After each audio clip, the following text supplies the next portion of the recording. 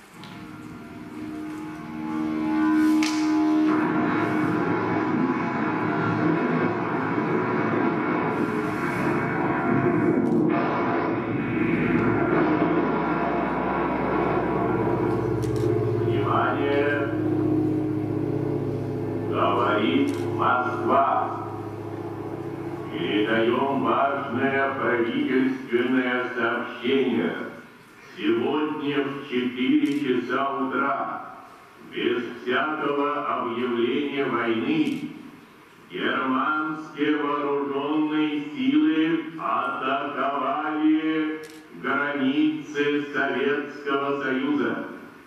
Началась Великая Отечественная война советского народа против немецко-фашистских захватчиков.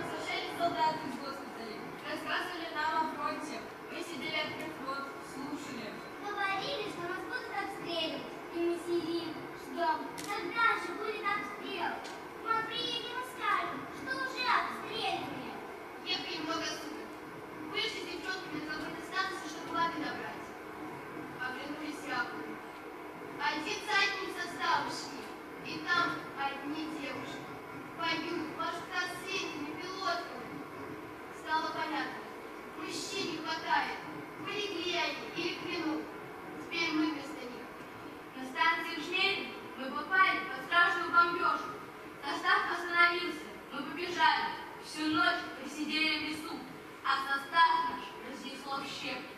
Два месяца нас везли петлушками, две тысячи девушек, целый эшелон. Что мы видели, когда подъезжали к фронту, разбитая станция. А по перрону на руках прыгают матросы. У них нет ни ног, ни костылей. Сердце туп, туп. Для храбрости перья, много перья. Нас кидали, я бы души.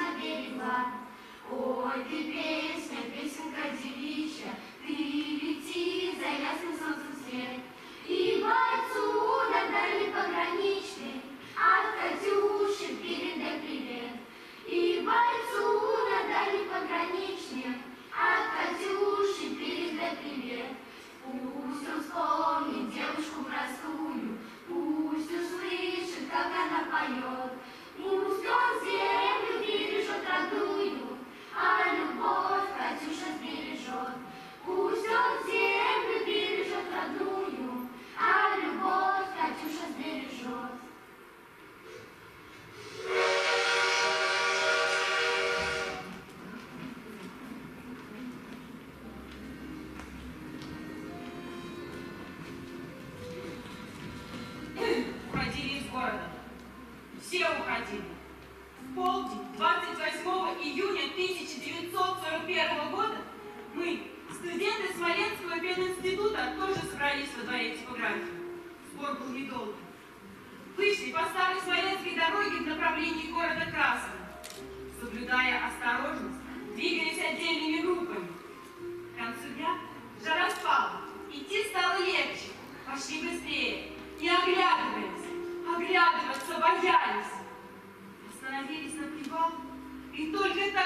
Взглянули на восток. Все небо было охвачено багровым заревом. С расстояния 40 километров стало понятно. Не 10 домов и не 100 горит. Горит весь Смоленск. Все остальное время мы шли и оборачивались. Казалось, что нам печет в спину. Всю ночь шли, не останавливаясь. А утром вышли на работу рыть противотанковые рвы.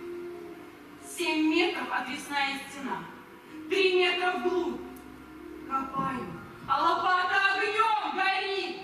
Песок кажется красным.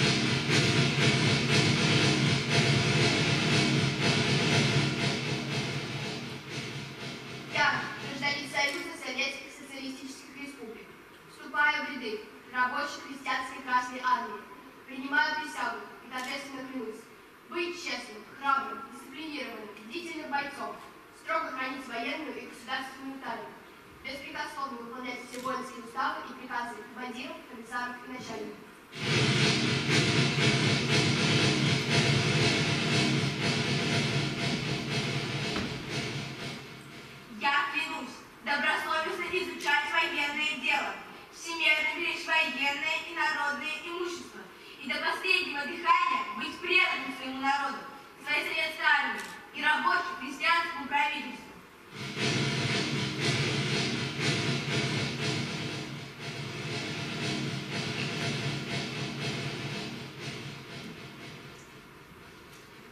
Я всегда готова по приказу рабоче-крестьянского правительства. вступить на защиту своей Родины, Союза Советских Социалистических Республик.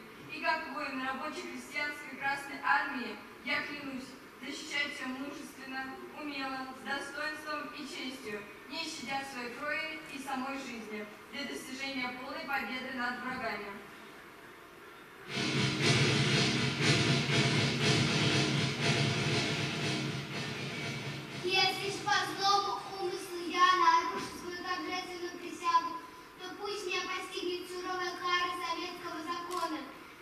enseñar a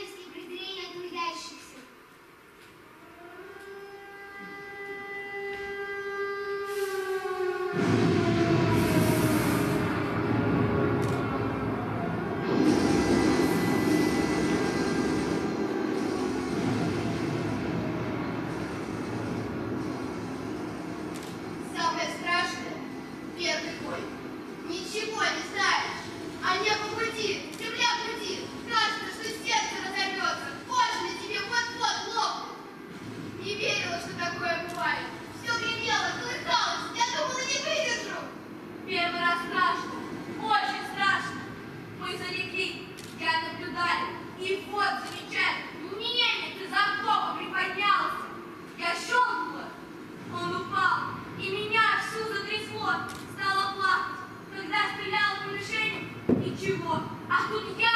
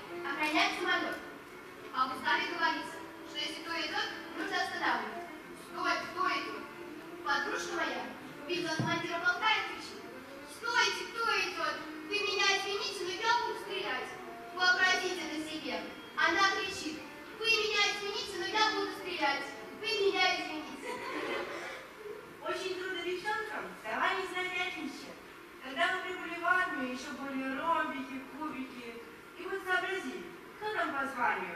Скажут они сегодня капитану, а как его различить?